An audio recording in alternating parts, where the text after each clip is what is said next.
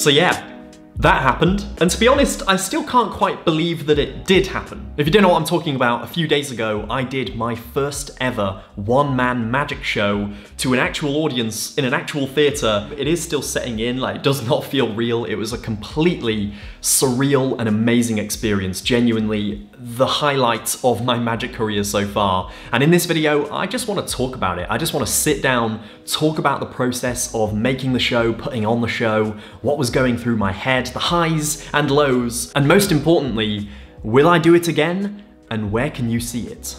So, where to begin? Honestly, I just want to start this video by saying thank you to everyone who bought tickets and packed out the King's Arms Theatre that night.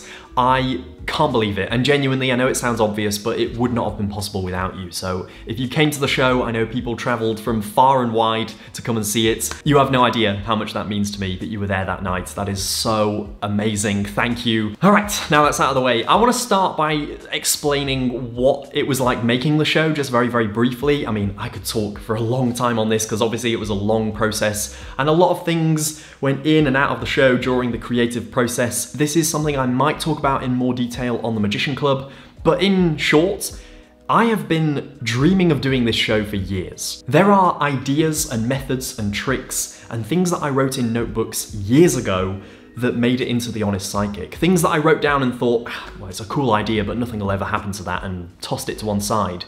Those ideas made it into The Honest Psychic. So my first piece of advice, if you want to make a show, or, or it's something that you're dreaming of doing, keep your notebooks, write down your ideas because it would not have happened if I hadn't have kept those ideas. I keep every little note and every little thing that I write down and I'm so glad I did because when I was putting this together, I just got out all of my notebooks, went through them all, all over again, rediscovered ideas that I'd completely forgotten I came up with. When I first started to piece together the show, it was gonna be something completely different. Instead of The Honest Psychic, it was gonna be the murder mystery magic show. Like the, the whole concept was gonna be murder mystery themed, and that was gonna be the idea of the whole evening.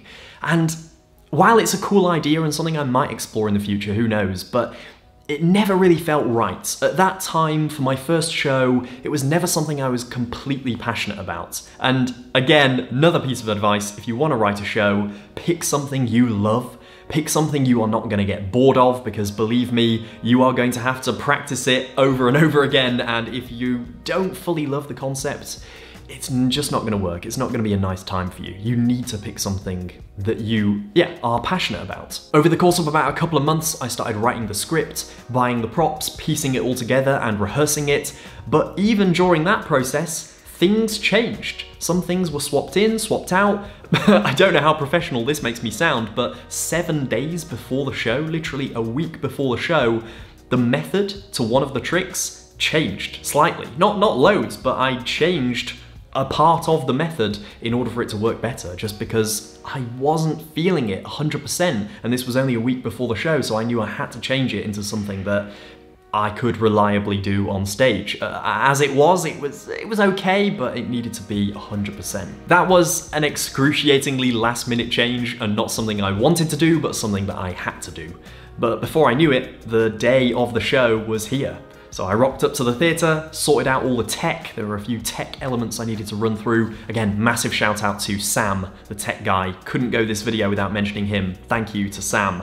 Um, and I got a green room as well. That was very exciting. Never had a green room before whenever I do magic gigs, usually I just get given like a little side closet or a bathroom or a garage or something, but this was an actual green room, which was so cool. I must say though, as nice as the green room was, I was essentially locked in that room for the half hour before the show on my own. So I just ended up like pacing around this green room for half an hour with my headphones in, trying to like block out what was about to happen. And I could like vaguely hear the audience arriving through the walls. It was so stressful. I was just I was just pacing around like a prison yard. Um, that was that was pretty bad. But then as soon as the show started, the lights went down, the music came up. Something just changed. I just like locked in. I just like completely locked into this performance zone, which was so, so cool. The first five minutes of the show, I genuinely can't remember. Like, I was just in a sort of adrenaline fueled state of like autopilot doing the show. I cannot, I physically cannot remember doing the first five minutes of the show, which is so weird. I was just completely in a different state of mind. Like I say, I am used to doing close up gigs. That is what I do most of the time. It's what I was doing the night before the show. I was at a close up gig. So I'm not used to stage, but by far, by a long way, I love stage so much more. Stage performance is absolutely where I feel most comfortable. It's where I feel I can be my most truest performance self. So yeah, I, I, I, thoroughly enjoyed it. I don't want you to feel like I didn't enjoy it. Oh my gosh, I did. It just took me like a little bit of getting used to when I first stepped out and the lights hit me and there's all these people. It's like,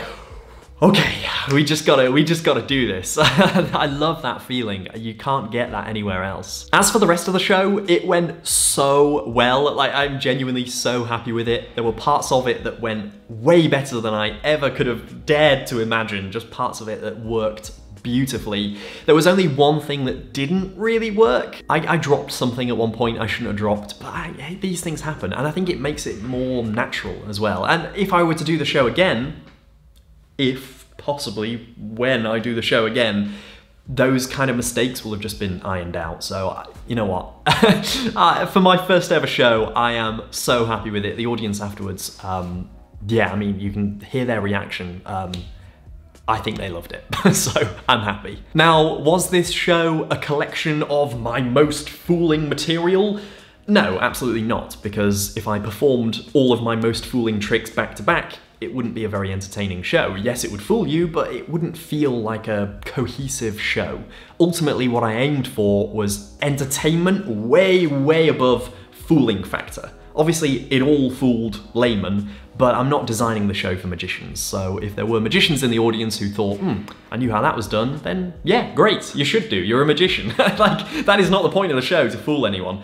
I do, however, think that the first trick will have fooled all the magicians in there, and that's not me, me being big-headed, it's just I genuinely think the first trick will have fooled all the magicians. Now, here is the bit of the video I am nervous for, but it's the part of the video I need your help for, because I am considering doing the show again, the same show with a few minor tweaks, in London this time. Obviously for the first one I wanted to do it in my hometown of Manchester and I know that not everyone can get to Manchester. In fact a very very small percentage of my audience even live in the UK let alone Manchester but if I'm gonna do another show London seems like the next obvious choice and I need to basically get an idea of who could go. So if, if you feel like you would want to spend 12 to 15 pounds on a ticket to come and see The Honest Psychic in London, if that is something you could theoretically do.